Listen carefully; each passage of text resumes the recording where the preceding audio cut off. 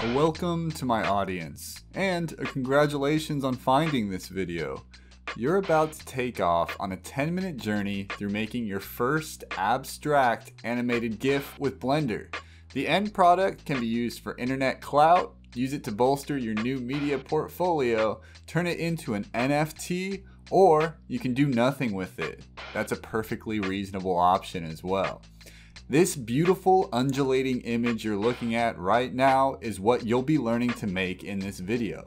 So without further ado, let's open up Blender and make our animated GIF goals and dreams a virtual reality.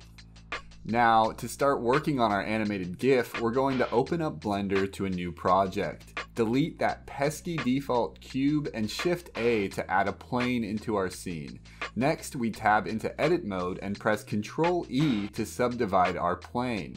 Without subdivisions, the wave motion won't work. So let's set the subdivisions to about 10 or so. Now in the properties panel, we want to add a wave modifier to our plane.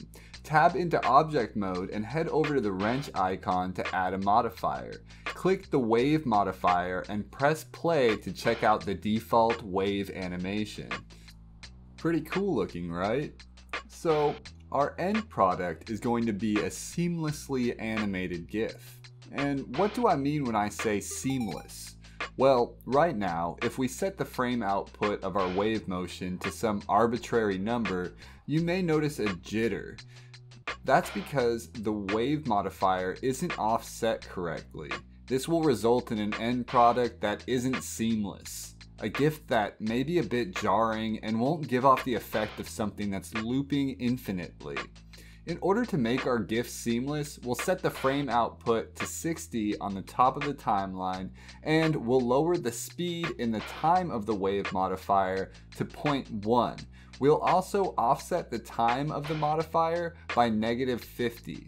Now, when we play the animation back, we'll have 60 frames of seamless wave motion.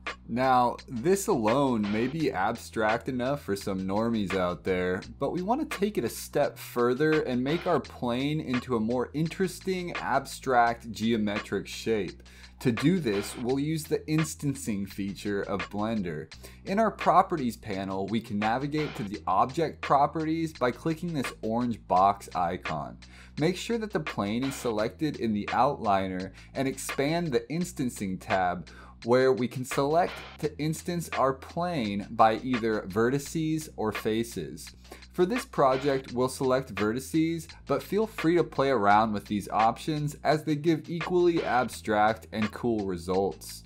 Here we also have the option to toggle the visibility of our instancer, the plane, in the viewport and in our final render. We'll come back here, but first let's make an object to use for the instancing. Back in our viewport, press Shift A to add a metaball to our scene. Metaballs are these weird built-in objects that Blender's been pushing on us for a while now. Upon adding this object, you may realize that it's a bit big. We can fix this by scaling up our plane using the S shortcut, and we can move the plane and the metaball around our scene by pressing G and either free moving them throughout the viewport or holding down the middle mouse button to move them along an axis. Off to the side, we can see why metaballs are a good choice for an abstract geometry. When metaballs collide with each other, they morph together, creating compound shapes that are gooey and have an awesome tactile feel to them. Now in our outline, select the plane and then the metaball by holding shift or control, and then in the viewport, press control P to parent the metaball to the plane. Since we've already set up the instancing properties of the plane, the metaball should instance itself across the plane's vertices. How cool is that? Of course, you can take a moment to admire the abstract art that you've just created. Take notice of how our objects have changed in the outliner. Metaball looks as if it's disappeared from the outliner completely, but it's just childed within the plane. We can now go into the plane's object properties and untick the viewport and render show instancer options.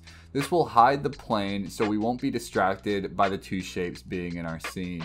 Back in the wave modifier, we can play around with the different motion settings until we're happy with the outcome of our shape.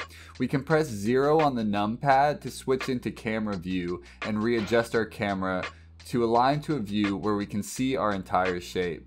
In the viewport, you can move around to a desired view and press Ctrl Alt 0 to align the camera to your view. In the camera settings in the properties panel, expand the film tab and choose transparent. In rendered view, we can now see that our render will be transparent. This is great for animated GIF stickers. From rendered view, you may also notice the lighting is a bit off. You can shift D to duplicate a few new lights into our scene and play around with color and power settings to really make our render pop. Another thing we can do to spice up our scene is change the material on our metaball. With our metaball selected, we can go to the shading tab, add a new material to our metaball, and shift A to generate a color ramp node as well as a noise node. Connect the color ramp's color to our base color and the noise texture factor to the color ramp's factor. Add colors to the color ramp node to your heart's delight and play with the settings in the noise texture until the look is to your liking.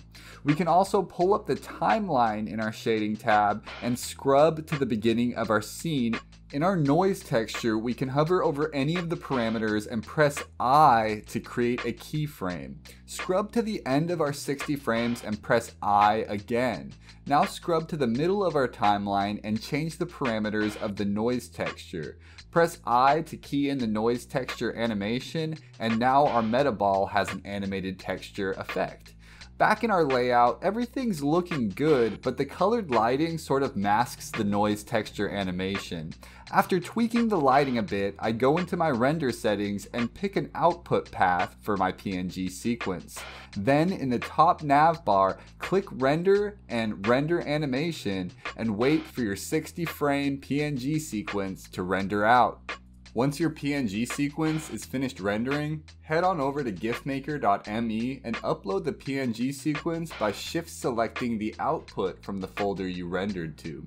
Once it's done uploading, change the animation speed to something like 50 milliseconds and press the Create GIF animation button. This may take a while to generate the GIF. Once it's done, press Download GIF and there you have it your first abstract animated GIF sticker. And we did it all in under 10 minutes. Probably. Maybe not. It's okay to take your time with these things. You're doing great.